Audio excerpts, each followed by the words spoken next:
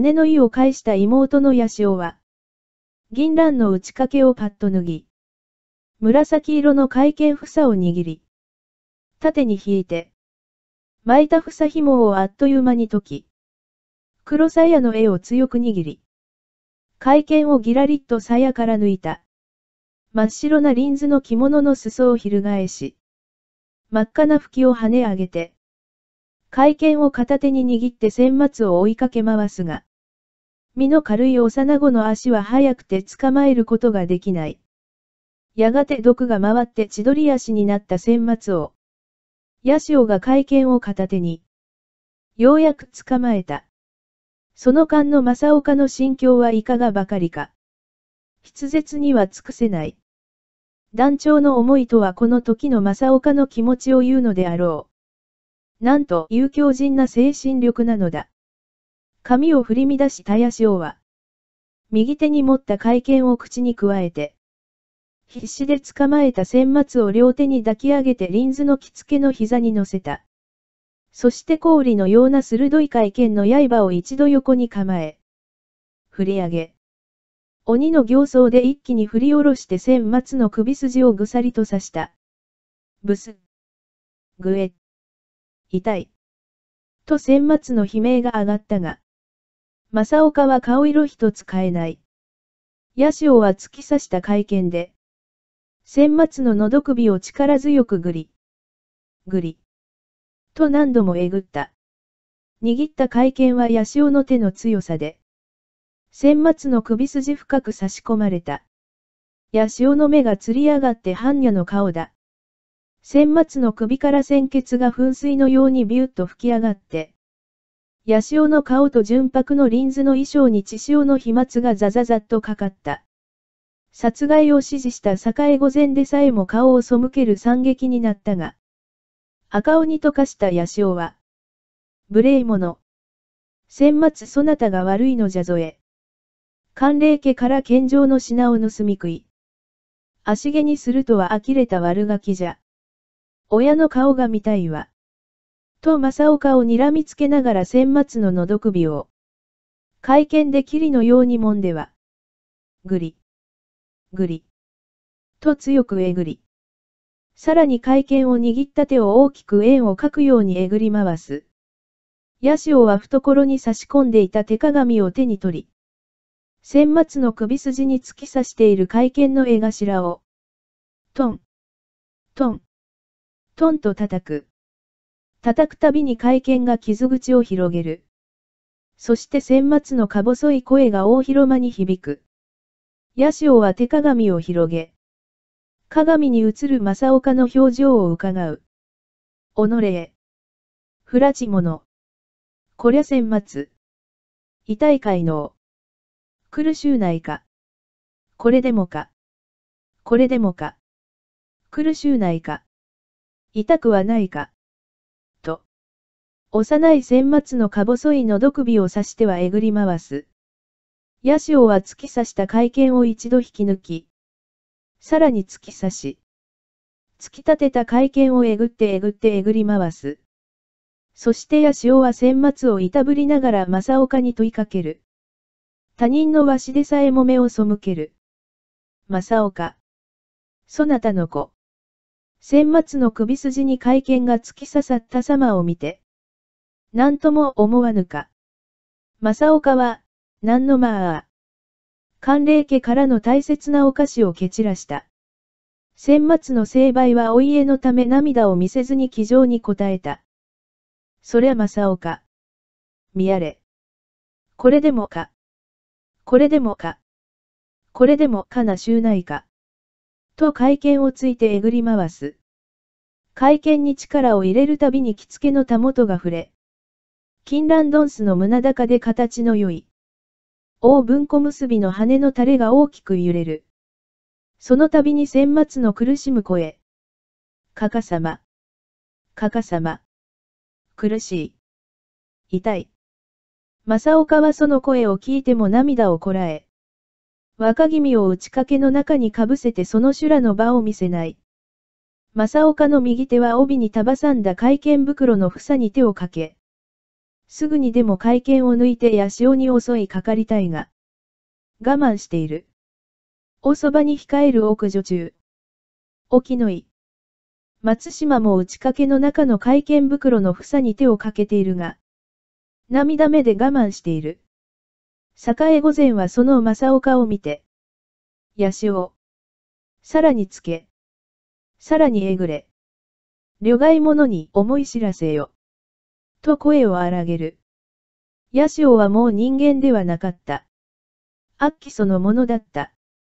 先末の声が次第にか細くなって、もうこと切れる寸前だった。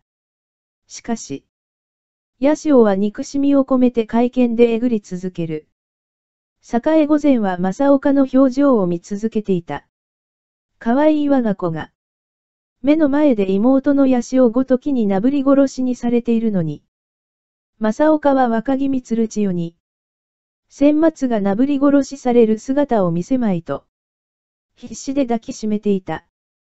先末の頭がガクリッと、垂れ下がったのを見た栄御前が、ヤシオ、先末への仕置きはもういいであろう。そこまでにいたせ。されど、武家の習いじゃ。不らち者の先末ではあるが、会見でとどめをさせ。と命じた。その声に気を取り直したヤシオが、会見を先末の喉首から引き抜いた。とどめを刺すべく握り直した。会見の切っ先を先末の真の像の上にあてがい。無言で会見で突き刺した。さらに力を込めてもう一突きして。深く刃が差し込まれた。哀れ五歳の幼子。先末は八潮の会見によって絶命したように見えた。しかし先末の傍らにいた八潮には、未だ先末が動いているかに感じた。それを見て八潮は何を思ったか。すくっと立ち上がり、先末を見ながら、こりゃ先末。わらわの刃に苛まれた気分はどうじゃったかいのうこれから本当のとどめを。この八潮が誘うわいなあ。と言って。栄御前様。お願いがござりまする。寒霊家明大であられる御前様のお会見を。お借りしとうござりまする。このや潮の手で先末のとどめ差しを。お許しくだされ。先末も武士の子。そのお会見でとどめを刺されれば。本望かと存じまする。栄御前は。突然の八潮の申し出にもうなずき。自分の帯に束さんだ会見袋から。蒔絵の会見を鞘ごと抜き取り。八潮。この会見で先末のとどめ差しを許す。頼むぞえ。と。ヤシオに差し出した。ヤシオは、栄御前から会見を受け取った。そして裾引きの、吹きを翻しながら、先末の体にまたがり馬乗りになった。先末。このヤシオが御前様のお会見でそなたを読みの国へ旅立たせる。覚悟しや。と会見を鞘から抜いて両手で絵を握り、振り上げながら、不らち者の先末。御前様の情けじゃ。ヤシオがとどめを刺すわいのを。覚悟を。とさらに叫びながら、先末の喉元に向けて突き刺した。その瞬間、うーっと先末のか細い声と、小さく体が震え、そして力強く握っていた拳が開き絶命した。ヤシオはさらに、よくもわしの白リンズの着物を、そなたの血で怪我してくれたな。わしの恨みを思い知れ。と首にとどめを刺し、鋭い会見の刃が頸動脈を切って千末は絶命した。ヤシオが行った御前様の会見による、とどめ刺しの時間は、この場にいる皆には長く長く感じた。正岡の打ち掛けの中に隠れている鶴千代君も。八潮と栄御前の声と、先末の苦しむ声は聞こえており、体が震えていた。正岡はその震えを感じ取っていた。八潮が勝利の勝ち時を上げるように、幼子の命を奪って血に染まった会見を宙に突き上げた。そしてヤシオは、午前の会見から血の滴りを返しで拭い、刃を鞘に戻し、午前様。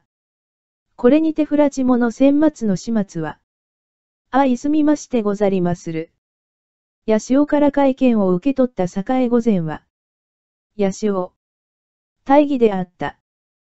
と褒め、会見の鞘を自らの会見袋に収め、房紐を巻き直し、薄茶色の掛け下に巻く金蘭の帯に差し込んだ。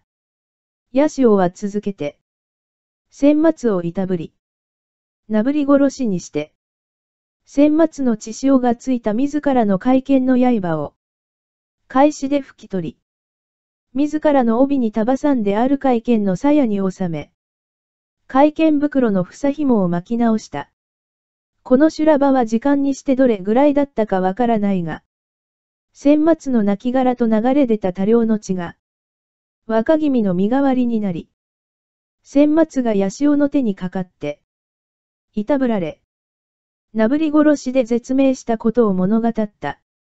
八潮は、腰元に明治掛け下の上に打ち掛けを羽織り、千末が蹴散らしたおかこを一つずつ拾い集め、菓子台の上に乗せ、三劇の場、御殿大広間から立ち去ろうとした。町屋。